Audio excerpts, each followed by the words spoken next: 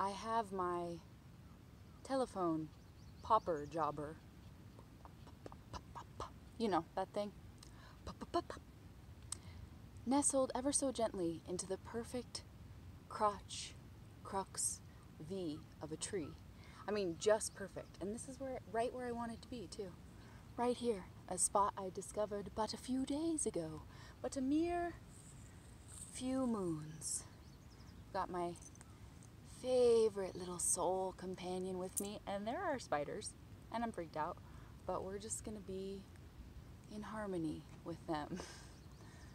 um, today's everything is inspired by a theatrical mentor of mine who not only predicted every detail of the pandemic, I mean, every one of them, about 12, 13 years ago, I've told that story, but he lifted me today. He found a piece of me, talked about how one of the most important questions he asked to Spirit was, What is your language? And it told him to study sacred geometry. So, this is my infinity star uh, rubbing stone. Why can't I think of it? It's something blue tiger's eye, I think. I believe it's blue tiger's eye. Wish I could just nail it for you. Oh, Gizmo's sniffing something in the tree, which makes me uncomfortable. But I'm at peace with it. I'm at peace with it. I was thinking a lot, and I spoke to this mentor, soul beacon of mine. Told him that I was adding a line to every line he said and making it rhyme and making it poetry and asked his permission. We both cried, I think, three or four times in our conversation.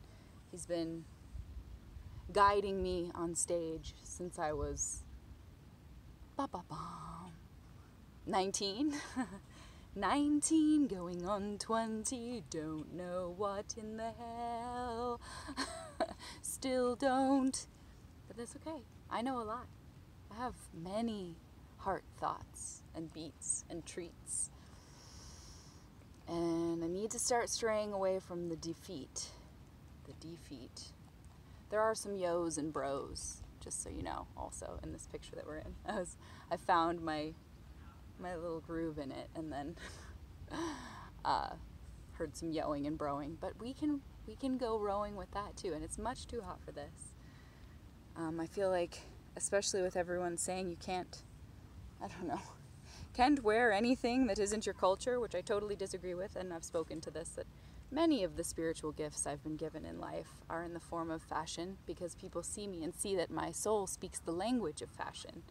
And for example, at Uh, a gathering of circus lovers, this Indian fairy gave this to me. So it means something. And so my soul feels okay to wear it. but I do think I wanted to address and did so with this mentor the idea of spiritual ego and spiritual arrogance, because that exists too. And I talked to my best friend on this very trail the other day about this, knowing that I've always had psychic leanings and tendencies and predicted the births of seven of my friends' children and their gender and who they would be like, no big deal, but that sort of thing. And still haven't done my piece about the heart characters, but I've done 90 to 200 of those. Can't even, I don't even know. I lost track, I guess. Deeply going in someone's heart and finding the past or current soul that lives there. Complicated. We'll go into it later. But I've never charged a penny. I've been given paintings, I've been given scrolls, I've been given kisses. You know, it took a long time. It took probably 80 heart character readings, too. I mean, it was usually just to seek spirit and to give spirit, but occasionally it was because I just wanted to get someone to lay down and show me their heart. And yeah, sometimes I didn't like what I saw, and sometimes I saw something they'd always been hiding and never told anyone and dreamed about. I mean, it gets it gets it gets rich in its texture, and I'll bring it to you soon. Uh, early in the wee morning hours of tomorrow, but still the kind of yesternight, will be the uh, blood, flower, eclipse, moon. So I hear there's to be clouds around here, and I'm very upset. Gonna try. I'm gonna try to capture it in the wee hours and find it. Hey, birdie. Uh, but yeah, the moon just got things to tell us, tunes for us to tune into. Um, yeah, spiritual arrogance. I was thinking about that, diving into that. Ran into a gal, a lady pal, I thought, so I thought, on the trail the other day, different trail, river trail. Someone I thought I was grooving with, in the groove with, in a way that we were swaying this way in our knowing of each other from moment one, really. And then the pandemic came up as it does, because it will and is going to. And this concept came out from her like, well, we've just been loving on our friends. Very hippy dippy outfit, much like this. Yes, there are different spectrums of everything. We've been through this. But, you know, this concept of, uh, well, we've just been loving on our friends the whole entire time. And got together with our relatives at the holidays and that's our prerogative. We just took vitamins and our priorities, loving on each other was a statement. Um, so that pushed me back a bit. I just gotta say, there's a lot of, we talked about yesterday, and that was a lot of farce and fun, and you know, I don't take any of my bazillion parts too seriously.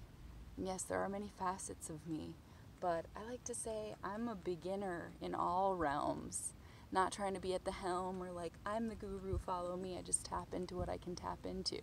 And sometimes it's pretty nifty. But it's with love, it's with such integrity. And I don't know, I just, there's this, well, we are, our chakras are too cleansed for the virus attitude that I'm like, you really feel that way? And she was also letting her dogs just run wild and attack each other, and a puppy and a big dog, and my dog's been attacked, so he was like traumatized. And it's that, well, but let them be free, you know? let them be free. And you would look at me and think like I'm but I I swing on that strange pendulum and that's the fun. I was talking to this spiritual guide, I would really call him, friend of mine, well respected human other planetary kindred type. Um, he just led me to push some buttons to choose some versions of me that were better than the ones that I've been choosing. Yeah. So that's why I'm here in this little spot. And I felt compelled at the last thought to grab these from my backyard. Gosh, they the sweetness is the sweetest of sweetness. So yeah, I just think we should do everything we do, pursue everything we pursue with humility and a nice heaping sprinkle of humble pie spice.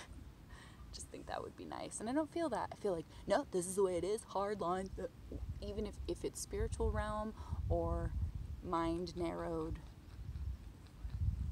bend in the road. Uh, yeah, I'm just trying to do it in a different way, I guess, than saying, this is it. This is the only answer.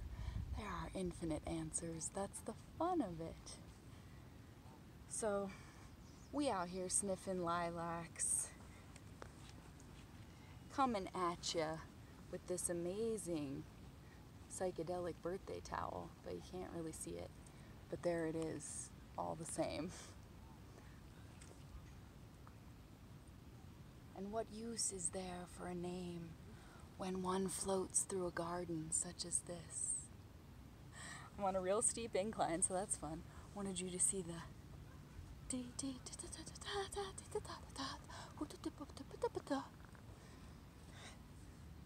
spiritual flirting, you know, 101. But anyway, it's hard to mind meld. It really is hard to mind meld with anyone these days, with any success. And I did that today, and it felt good. It's been a while since I dove into that cave of phosphorescence and pleasantness and a little self confidence. Feels good to tap that, remind it to wake up every once in a while. So I got, I got geese and herons. Prepare on this poetry backdrop for thee and thee and thee. Yes, even he, even she, even they, even we. There's beautiful hawks flying overhead. And I'm going to bring you some bread and butter called poetry for you to snack upon and sup upon. I always love the word sup. To sup upon. Wish you could see the sky better. We're, because it's like, I'm telling you, the tree groove, it's just right for this, this locale. So we'll just have to get this guy up here in the story a little bit. It just feels so good right now. There are a couple random people being like, is she talking to herself? Is she talking to a tree? I hope she's not talking to a tree. yes, I am. so, this poetry today is pretty much 50 50, half what this great guide of my strange, strange tribe friend and mentor. Half of it is him, and half of it is me elaborating on what he led me to and coloring it more, making it rhyme. But yeah, I wanted to imprint it in time today. Will you drink a little bit more water? Can you? He always acts like he's thirsty. That's. and he's like, oh, no, no, thank you. Sometimes we're led to the water and we don't drink. There's that deep thinky think. I'm doing some pretty massively stressful human stuff later. I'm not even going to bring it into this space right now, but I'm so glad for these words today. I'm going to pray on these words. These words feel good to swish in my existence. Today's poem is called Unspoken Messages as Music Recovering Your Truth and How to Use It 101. The machines have led so many, pushed so many to the spiritual void. It's like they want their inner essence destroyed. People maintain neutral faces when they hear about weapons deployed on other humans. They don't have to tune in unless it impedes their backyard barbecue. Observe others for any stretch of time, and you can find exactly what they value. The masses seem more and more to unwittingly salute the unnamed, overarching, deranged, and empirical. Everybody trying to sell you on what they're pushing. And when your eyes are open, every channel and every dot com feels inimical. Not even trying to sound cynical, but I see the cyclical nature, and we're headed to the opposite direction of the deeper truths. I can't watch the network news because I choose to see past all the crashing, colliding views so much is disallowing our radar for truth. When you get in here, really put on your tall boots to go trudging through your soul. When you behold the work that's got to be done to get you on the trip you wish to be on and out of the crowded wait station, well, you actually do that work. Go within. That moment you are awake, that you are you, it's not creation, it's emulation, it's emanation upon emanation. You are a stream in the ocean, but that isn't small. It is connected to all, to every single drop. When I actually stop succumbing to the noise and go hunting for the joys, I know all that is perceived and believed seen and unseen, lit and unlit. It's a symphonic masterpiece, and you are a brilliant motif inside it. Write it, hear it, choose it. You are granted sovereignty in that infinite moment of music. All energy and nameless messages come through as music.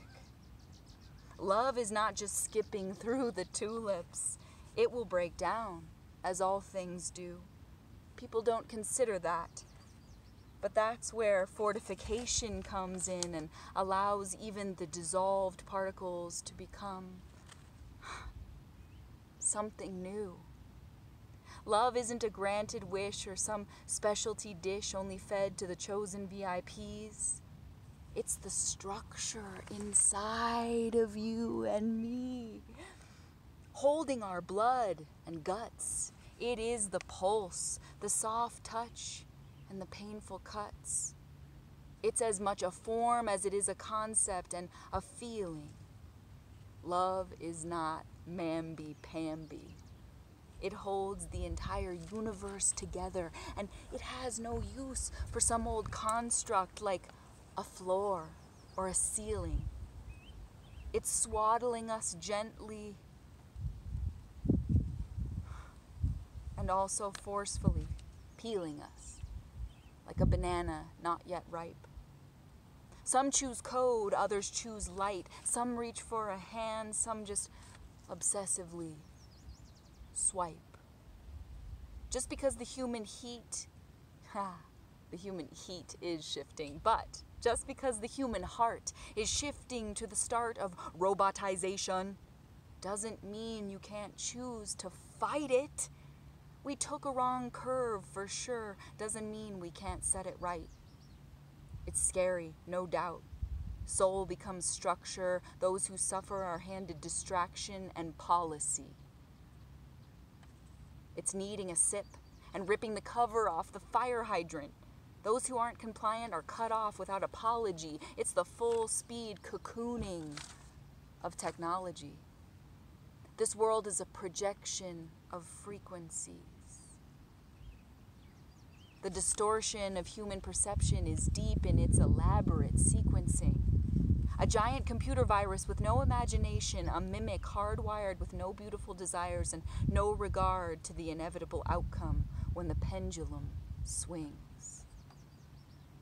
And oh, it swings. Do the angels even remember how to sing? The old gods so loved for constant proof of our love. Is our flagrant parading of that sentiment a heartfelt offering or a self profiting vice? Are not wars just a huge blood sacrifice?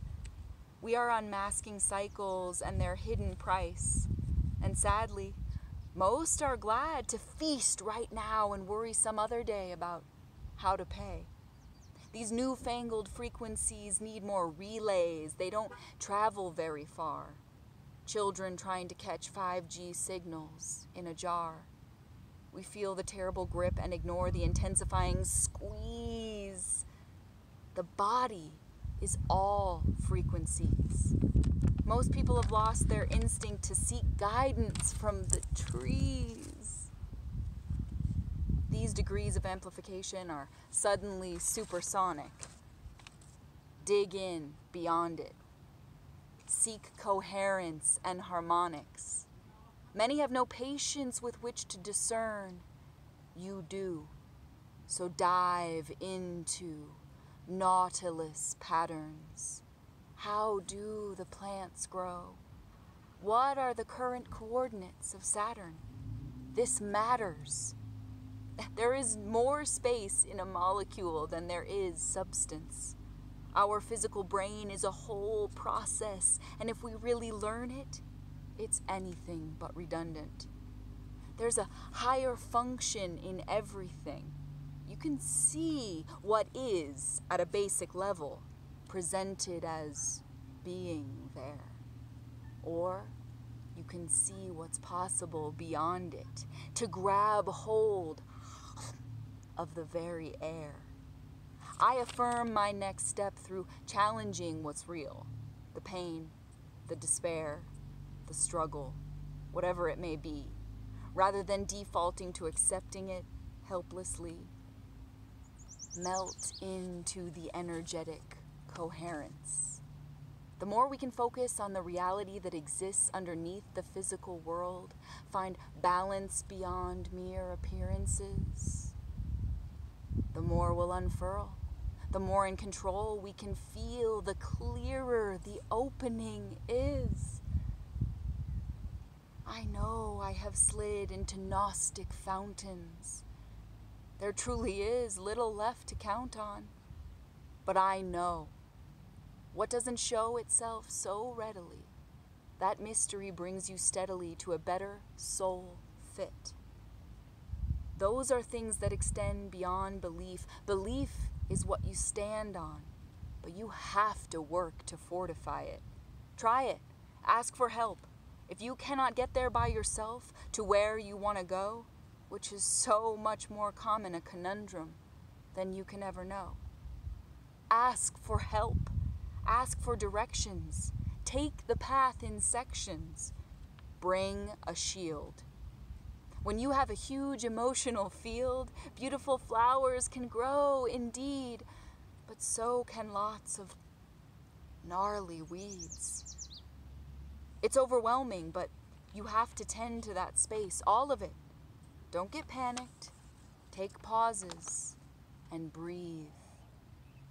And if that expanse is huge, gee, you are so lucky because you can wander and feel and see so much you can even touch. But it's also a double edged point you clutch because you have vastly more to tend to. You can't let it get overgrown and neglected or bend to someone else's vision of its possibility. Your gift is an immense field, but you also have a bigger job to protect it eminently. Compassion has to always be at play, but that doesn't mean that you just let everyone come romp in that precious field as they may. You might be missing directional arrows or lacking them, and the first step to finding more is honoring yourself. Now, today. People treat that act like an indulgence because they've become numb to prioriz- prioritizing, prioritizing, prioritizing that action but you must know how vital it is to soul satisfaction. The constant distraction away from these goals can easily take hold and impede you by means of greed and bureaucracy, the shockingly accepted pull of corporatocracy, technocracy. Yet we who see cannot unsee it. Holding your truth is no small task. Like holding a holy mass in a monsoon, trying to keep your candle lit. When you feel you need that assistance, do ask. Just existing now requires so many more demands and tasks and tasks. We shove our self worth aside until the very sense of it is a blur. There should be a line for everyone in that regard that defines here and no further. But it's hard. People think their social media profile is them. It's like the actor becoming the character and forgetting to check in to ask themselves, but wait, who is the actor? The Ouroboros of energy, the universe's trash compactor. You must endure the pressure to protect that territory of who you actually are. To let it get too far from you is very dangerous. The hypnotic noise trying to slowly destroy us is clamorous and hell bent. We're living with more discouragement than encouragement. But there was a soul choice made for you to enter this bizarre production. And it changes the story when your voice is lent to it. We don't get to know before the curtain goes up or down exactly what was meant by the script. A line or two may have slipped your mind, but if you gave it your true depth, there will still be autographs to sign. You can't have empathy and not see the atrocities. But because you chose it, you must, you must, you must with a T. you must seek the beauty you can indeed find. Proclaim, I will not reject the truth as it comes to me. Repeat it a million or more times. Be the voice crying in the wilderness for a sign. You may not see the result of it. You may not see the result of any of it. But when you need to wail to the moon, do so knowing she hears you, even if no mortal chooses to. You may not see the result of who you are. You cannot be attached to seeing the results, just like you cannot know the fate of each star. If you hide out right where you're at, or venture far, you will be trod upon until you demand that no one will get away with stepping on you like that. And fact is, neither party learns a thing if you submit to what you know is wrong. Just like there are only so many notes to make a song. Patterns are recurring. You've seen that all along, only you can fix it. Others will only reinforce that repetition if you let them, and they'll take you. They'll take of you, bit by bit. Communication with the higher function of your consciousness is not as simple as shooting out a text. It takes deeper work. The glint of light sometimes only breaks through the murk when you feel most helpless and hopeless. Stress is a signal to reconstruct, to seek harmonies, subtle hum.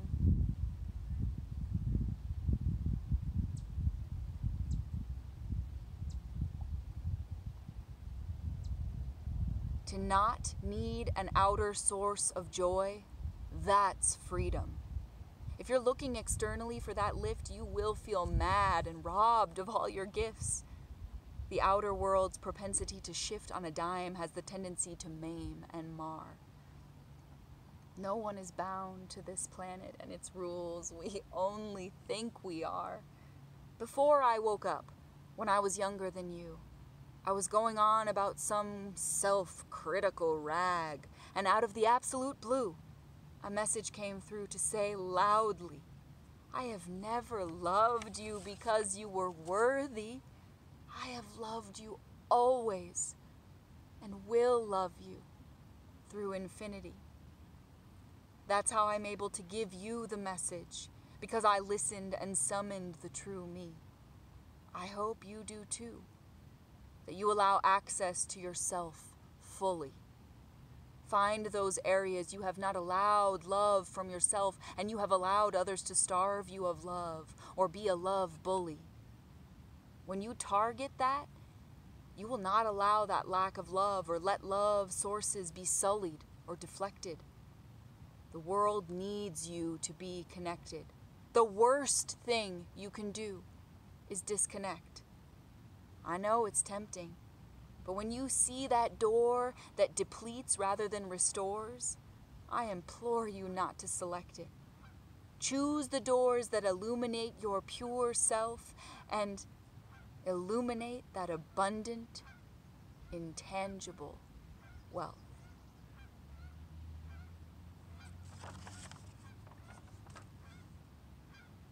That's that's my brain for today. As the geese soar away. That was a really nice way to pray. That's how it felt. Oh, bud. So I'm gonna go give this little fella a real walk, because that's what he came to this party for. um, thank you. That felt that felt real and like a wonderful fruit to peel. That's the real deal. It came through in such lovely radio waves and then I carved something out of it. Hooray! so we'll uh, stand because our legs and feet are totally asleep, and we'll just do a little, do a little reach and a little reach. This groovy, brighten up your life skirt. Okay, I'm gonna go flirt with the green grass and the trees and this sassafras and all the birds and all the big bumblebees. And the herons. And even the fleas, though I tell them to stay away from me. and the jumping fish. he heard it. The jumping fish. And the many wishes waiting to be wished. You've got a talker. Okay. I love you all for hearing me. Find a place to be in you that feels good and like a way through. You can. There are those there are those doors in the great hallway of wandering. Just open them up.